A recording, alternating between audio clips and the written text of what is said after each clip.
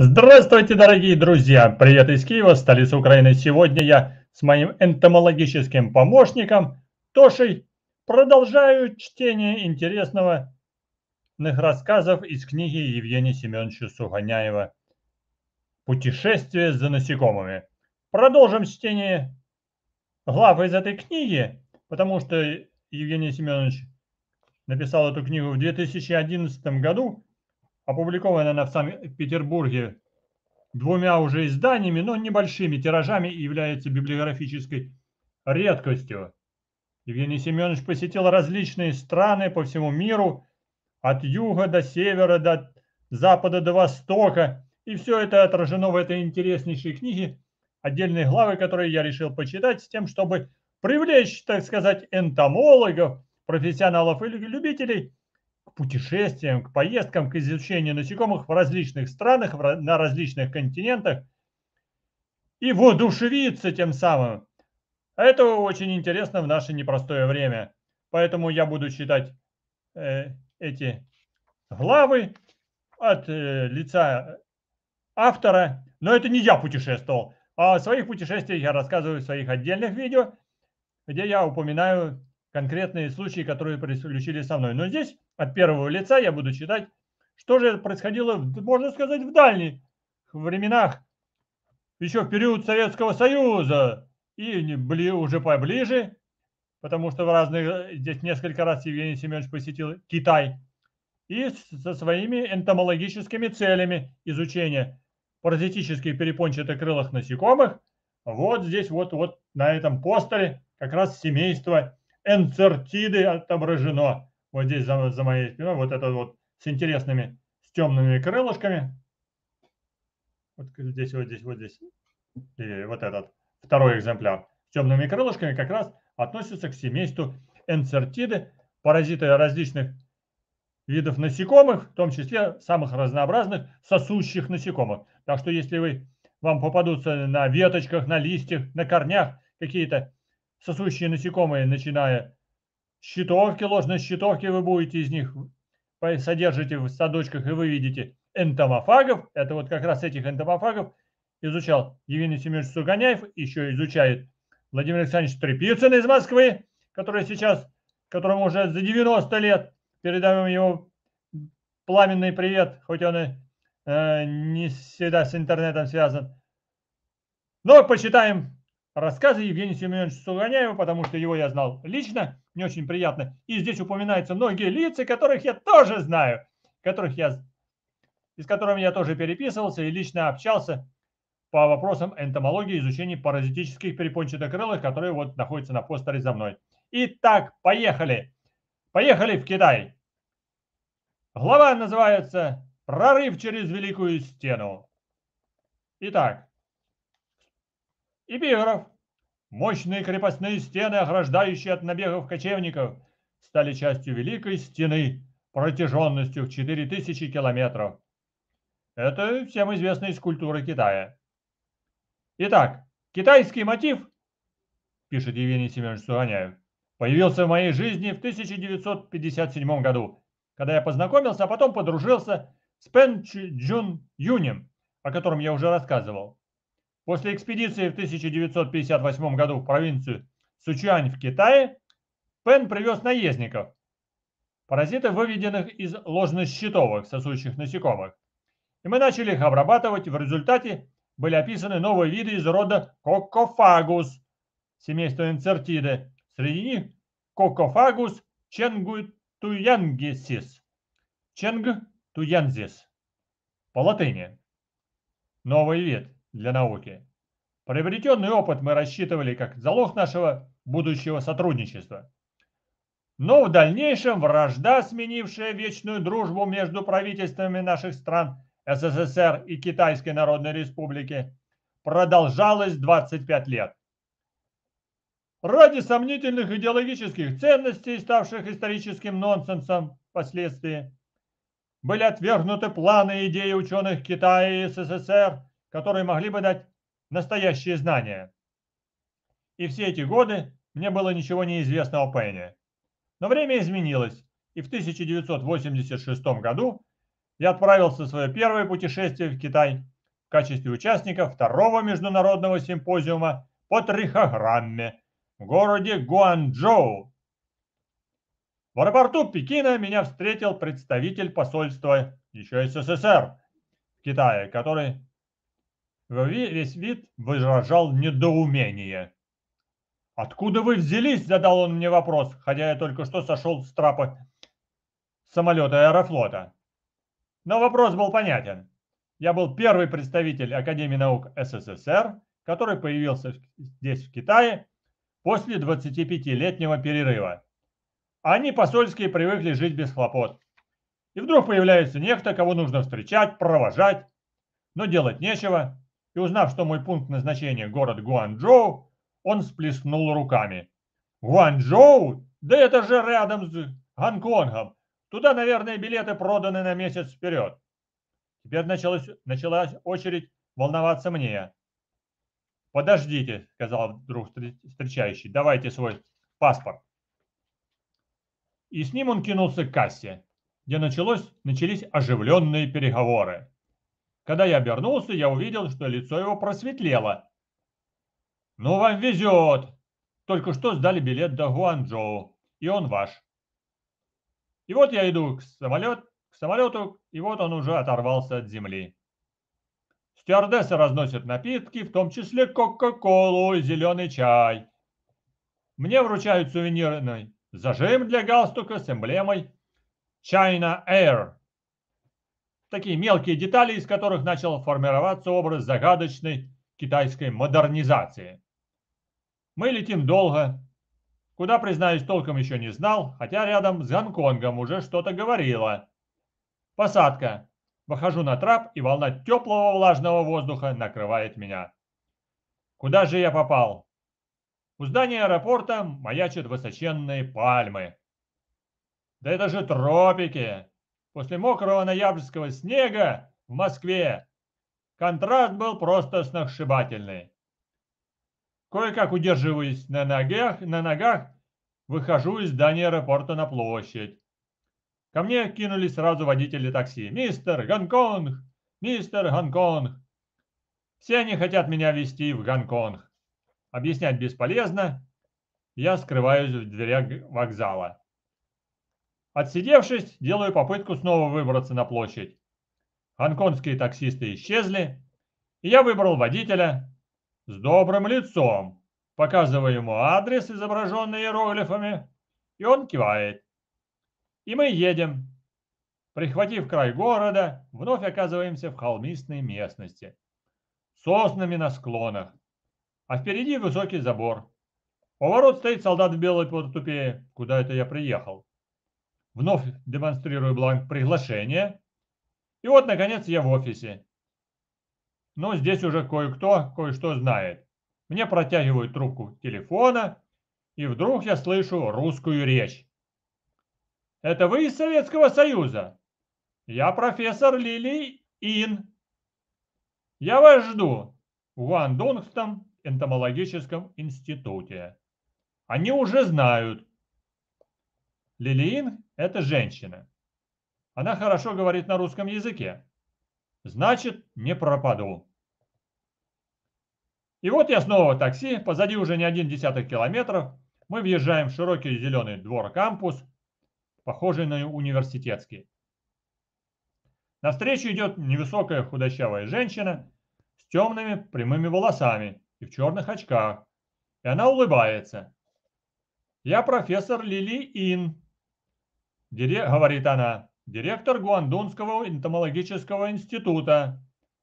Вы приехали на пять дней раньше начала симпозиума. Я предлагаю вам взять комнату в гостинице университета имени Суньяцена. Вы не возражаете? Это совсем рядом.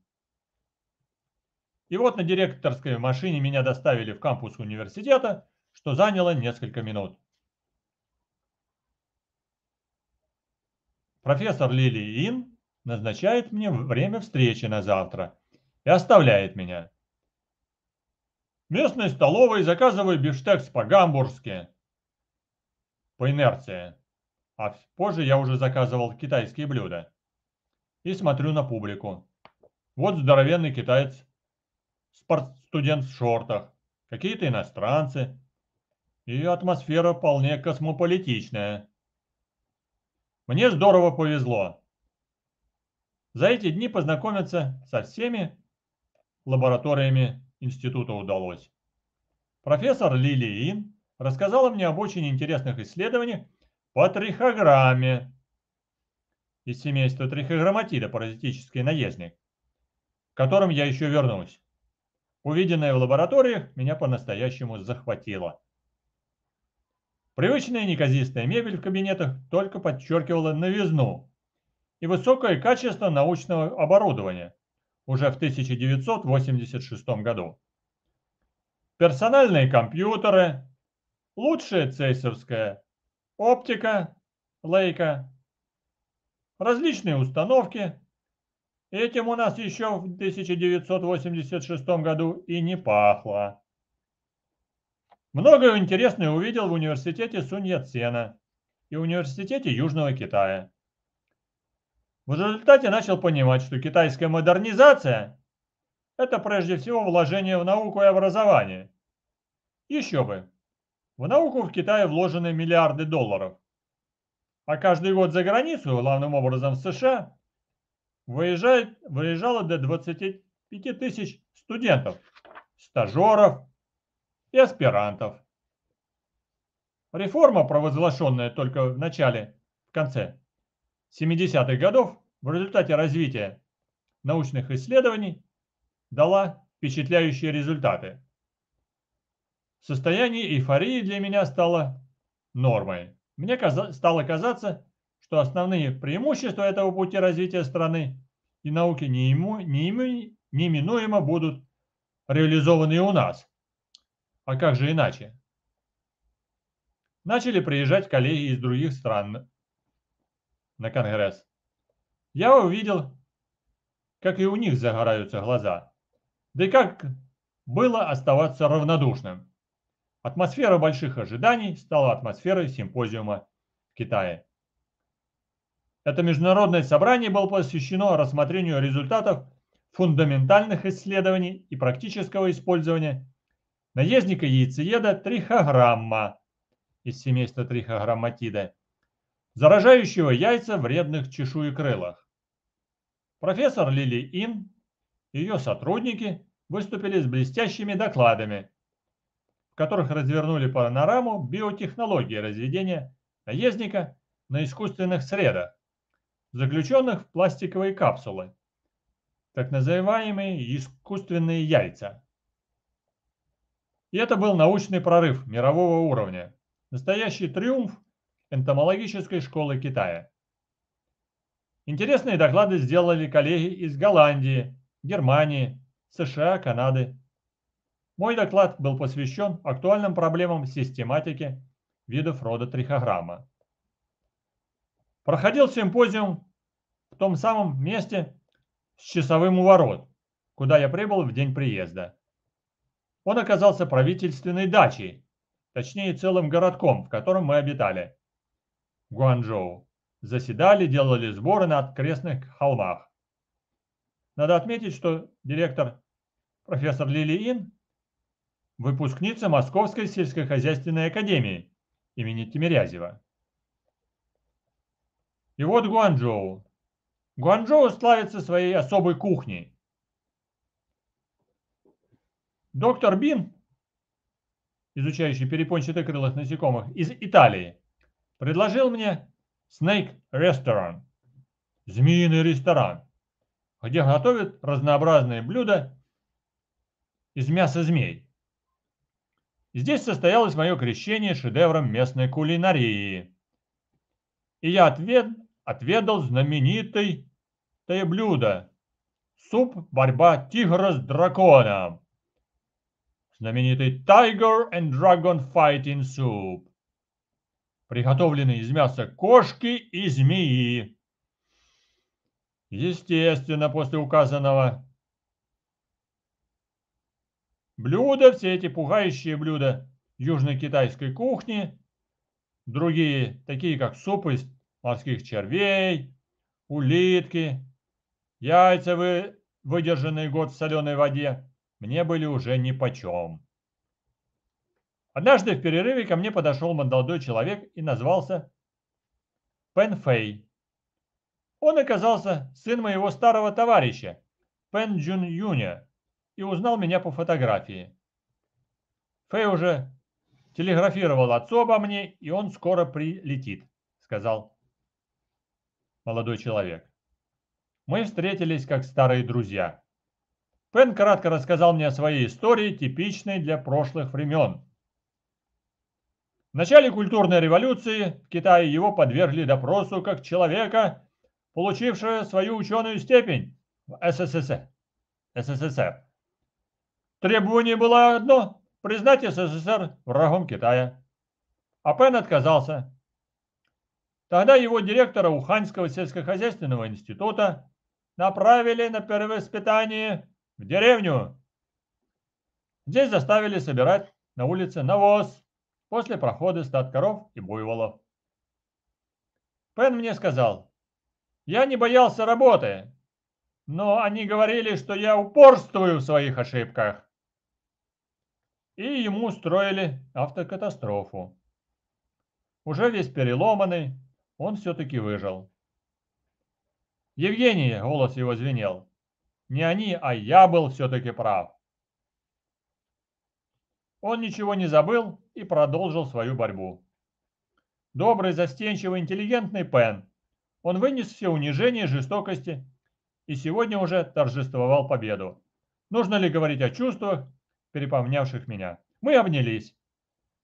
А на память сфотографировались у флигеля, где находится мемориальный кабинет Сунь Яцена, университетского профессора, социалиста, создателя Гаминдана. Кстати, революция, революция почему-то всегда в Китае начиналась на севере и наступала на юг.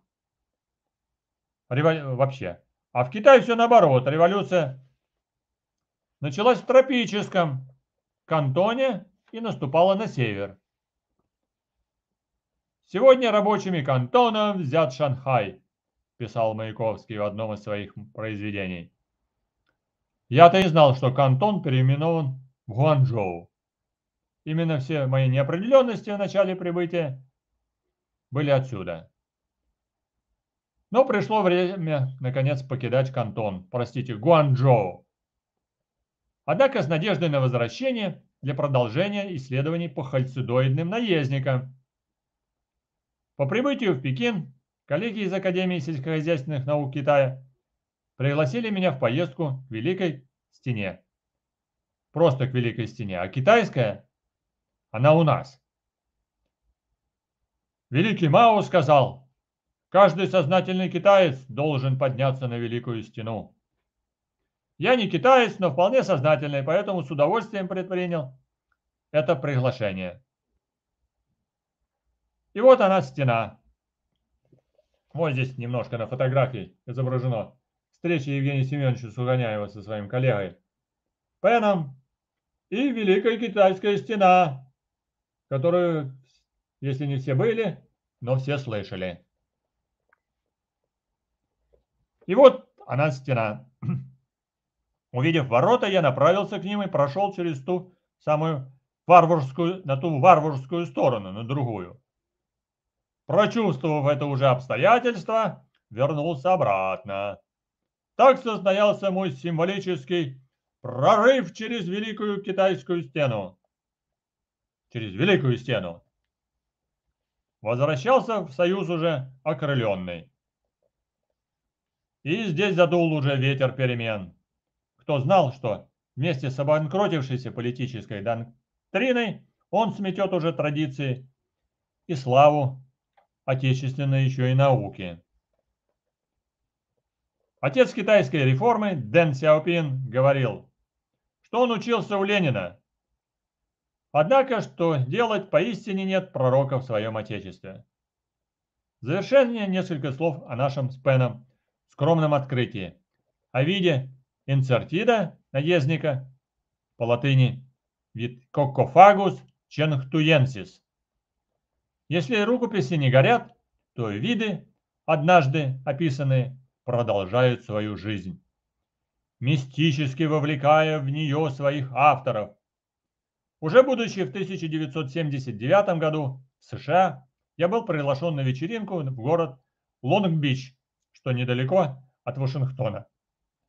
На ней присутствовало несколько китайских энтомологов. Узнав, что я из СССР, они рассказали мне, что их коллега Пен Джун Юнь описал с одним из русских новые виды наездников. Но какое же было удивление их, когда они узнали, что этот русский – это я. Наверное, там на Атлантическом берегу возникла уже новая, исчезающая слабая связь, которая привела меня потом на, снова на берег Южно-Китайского моря. Вот так, такая глава «Прорыв через Великую Стену».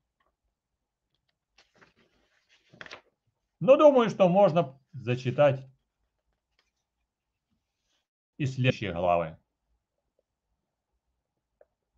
Тысячи, глава называется 1989. Год белых повязок. И вот снова Пекин. Конец мая. В воздухе висит напряженность. Проезжая мимо гигантской площади Тяньаньмынь, я увидел море человеческих голов. Это протестующие студенты. Они все сидят на площади. Видны палатки, кое-где курятся дымки. Почти мирная картина, если не знать, что противостояние студентов и правительства длится уже почти месяц. На этот раз я уезжал в Гуанчжоу на поезде. И на вокзале полно студентов, которые сидят и лежат на полу. Их лидеры заявили, что основная цель достигнута, и они могут уже возвращаться в свои университеты. Кажется, что все завершилось уже мирно.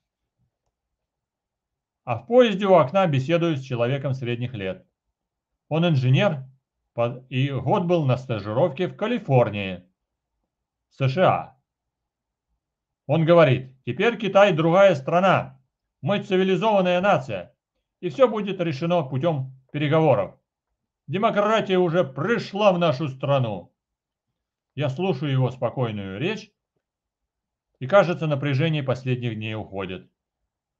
За окном бесконечная равнина провинции Хубей. Рис и рис кругом. Путь далек лежит. Это почти что как в песне ямщика. А на следующий день потянулись горные хребты и порожистые реки между ними. А вот и вокзал в Гуанчжоу. Меня встречает профессор Лилиин и высокий молодой человек. Это Жень Гуи, хальцидолог. С ними я буду работать. В кампусе института мне отвели просторные апартаменты а завтраки, обеды и ужины будут приносить на дом. На дом. Лаборатория рядом. Все превосходно, если бы не духота. Температура не опускается, это к ниже плюс 30. И ежедневно идет тропический дождь. Вентилятор работает постоянно, а в спальне кондиционер. И все-таки ремни сумки и даже обувь покрываются плесенью. А в воскресенье 2 июня в институте стало тихо. У меня есть ключ, и я отправляюсь в лабораторию. Настроение отличное, хотя меня смутило, что с утра в экране телевизора никаких нет программ, кроме колонок и иероглифов. И что это означает? Кажется, по-китайски это называется дадзебао. С открытой галереи института вижу запруженную народом улицу а это демонстранты. И головы повязаны головкой, э, полосками белой ткани. На белых же плакатах они несут надписи красными иероглифами. Можно сказать, брызги крови, отпечатки ладоней. Люди хором выкрикивают лозунги. И вверх взлетают кулаки. Что же происходит? Я вижу профессора Лили Ин, идущую ко мне по галерее. Направляюсь и задаю этот вопрос. Но лицо ее напряжено, и она пытается улыбнуться. Не беспокойтесь, все в порядке. Позже я думал о ее фразе. Она же официальное лицо, а я иностранец. Значит, она вела себя правильно. И вот, наконец, через день-другой просочились сведения о кровавых событиях в Пекине. Много студентов погибло на площади Тяньаньмэнь во время атаки армейских частей, в том числе танков. Местные телевизоры принимают программы из Гонконга, а они показывают душераздирающие сцены. Мой собеседник в вагоне ошибся. До цивилизованного решения социальных проблем в стране еще далеко. А белые повязки в Китае – это дань традиции. В Китае белый цвет – это траурный. И вот мы стоим на площади кампуса университета. Прямо перед нами широкий пьедестал памятника Сун Яцена. На нем красной краской нарисованы метровые иероглифы. Что там написано, спрашиваю я. Там написано «Ваша кровь пролита недаром» отвечает мой собеседник. Хочется надеяться, что так оно и есть. Студенты – будущее Китая, и они помнят. У Китая и его народа свой трудный путь. Происходящее там сегодня показывает, что они, скорее всего, выйдут на дорогу, на которой, сделав несколько шагов, погибли мученики площади Тяньаньмэнь. С молодым человеком и коллегой Жень, Жень Гуи мы побывали на юге-западе провинции, примыкающей к Вьетнаму, где собрали коллекцию хальцит, как цит сосущих насекомых и их паразитов. Обрабатывая виды рода какофагус, наездников энцертит, ставших уже традиционными, мы описали пять новых видов, и среди них Вид по латыни Coccophagus cooperatus. Название должно было символизировать новый этап. Вспомните работу с Пеном. И этап совместных исследований фауны наездников в Китае. Но это «но» выскакивает снова как черт из табакерки. Оно что-то нам помешало. И позже связи наши с Китаем прервались. На обратном пути остановка в Пекине. На площади Небесного Спокойствия Тяньаньмынь. Абсолютное спокойствие, она закрыта для посещения. А мост через реку охраняет вооруженный часовой. От прежней оживленности, словоохотливости, так приятно поразивших меня в прошлый приезд в Пекин, не осталось и следа. А в зоологическом институте Академии наук КНР меня встретил доктор Ляо Динси, ранее работавший в зоологическом институте в Санкт-Петербурге. Программа наша – это знакомство с коллекцией наездников. Хальцит. И, конечно, экскурсия на Великую Стену. И вот, преодолев немало ступеней, ведущих наверх по Великой Стене, я остановился для отдыха. Кустарник на склонах меня заинтересовал, как и крутые ступени, ведущие вниз. Это оказался тайный лаз, ведущий на гребень хребта. А на диком абрикосе, а это был именно он, удалось даже найти самок шаровидной ложнощитовки сосущего насекомого. И это давало надежду на выведение хальцидоидных наездников-паразитов. Семейство энцертиды. Прости, великий кормчий, Стене я отдал должное. Но энтомолог всегда энтомолог. Злоупотребив кондиционером в гостинице, я прилетел в Ленинград все-таки с простудой. Но подходило время плановой поездки на Белое и Баренцево море. Поэтому позже я оказался в тундре, оглашая всех пекинским кашлем. В те годы путешествия по меридиану от субтропиков до субарктики стали частью уже работы. И в них постепенно формировались мои взгляды на приспособление наездников, хальцит, своим хозяевам в различных широтах. А что же касается здоровья, то все было нипочем. Главные интересные экспедиции и сбор научного материала как по ту, так и по ту другую сторону от Великой Стены. Вот такая интересная глава. Итак, завершающая третья глава про Китай. Называется «Пекин, 1999 год. Тутовый шелкопряд и Великая Стена». Итак, однажды прорвавшись через Великую Стену, я явно зачастил в Срединную империю. На этот раз в качестве участника 19-го Международного энтомологического конгресса в Пекине. Китайский тутовый шелкопряд, а это единственное в мире полностью одомашненное насекомое, и фрагмент Великой Китайской стены – это символы Конгресса. А наша делегация включает профессора Зайцева, Лев Сергеевича Медведева, Владимира Ивановича Тобиаса и я. И вот мы на, то, на фото. Вот здесь есть даже фото участников энтомологического конгресса. И Евгений Семенович Сугоняев. К тому же у меня на конгрессе должность конвиньер, организатор секции биологической защиты.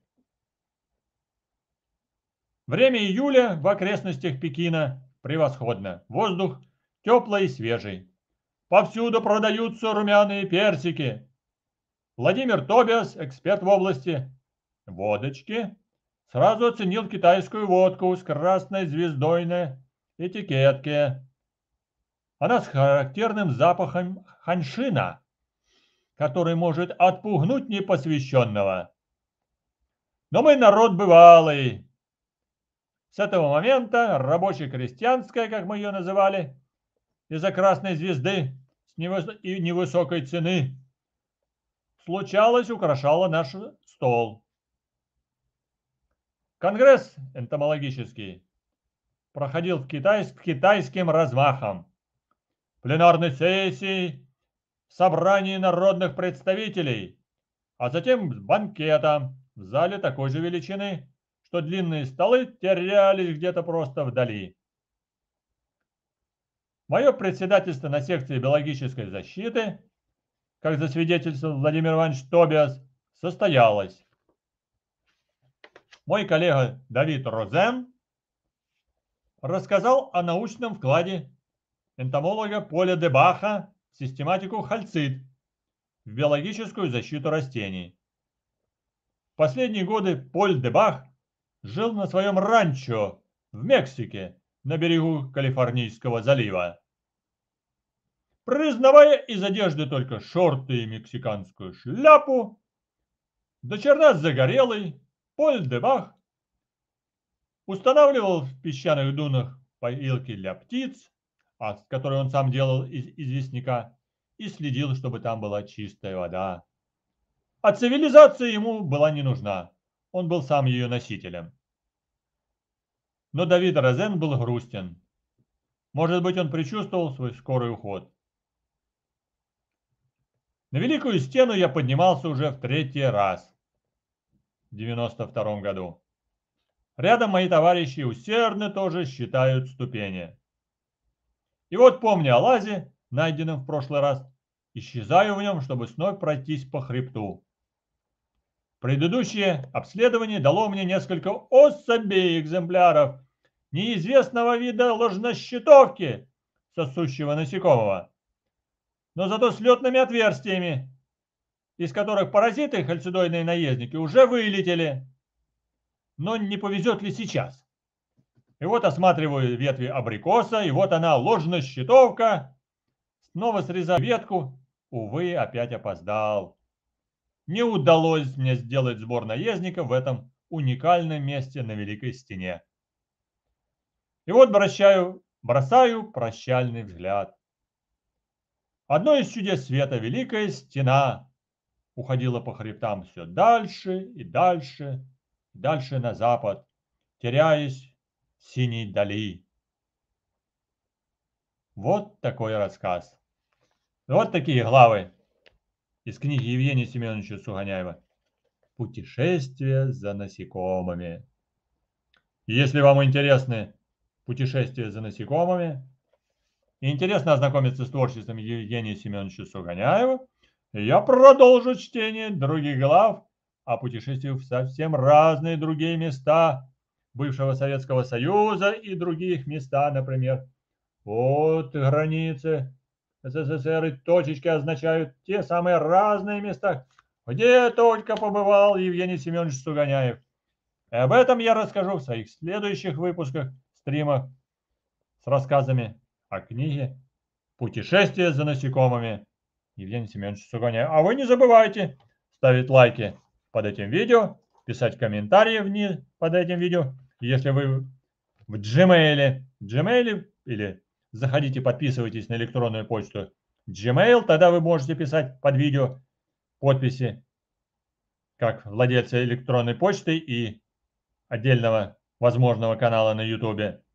Это дает вам возможность писать. Если вы на других сай сайтах, можете написать мне на электронную почту Юфенсия Gmail, указанная, которая здесь внизу, с вашими вопросами и пожеланиями. А также не забывайте заходить на страницу в Patreon, где можете стать спонсорами, патронами нашего канала, начиная с 1 доллара, легко бросив со своей кредитной карточки или со своего Google Pay с телефона на сайт patreon.com.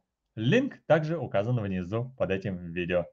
Это приятно, будем вместе сотрудничать, а также узнаете о различных проектах, проводимых в изучении паразитических перепончатокрылых насекомых, которые вот здесь за мной на этом постере можете прочитать на странице в Patreon. А также заходите на мой канал, подписывайтесь и увидите много других интересных видео о насекомых, о перепончатокрылых и других насекомых, которых, о которых я рассказываю и показываю живьем под микроскопом или под зумом видеокамеры, с тем, чтобы показать их вам побольше и покрупнее.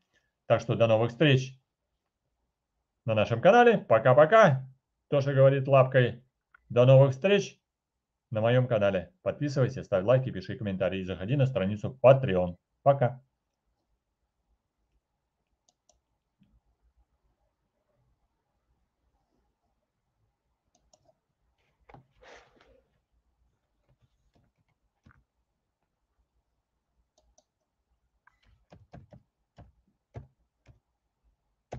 Комментарий. Спасибо. Тоже помаши лапой. Еще раз. Двумя лапами. Пока-пока.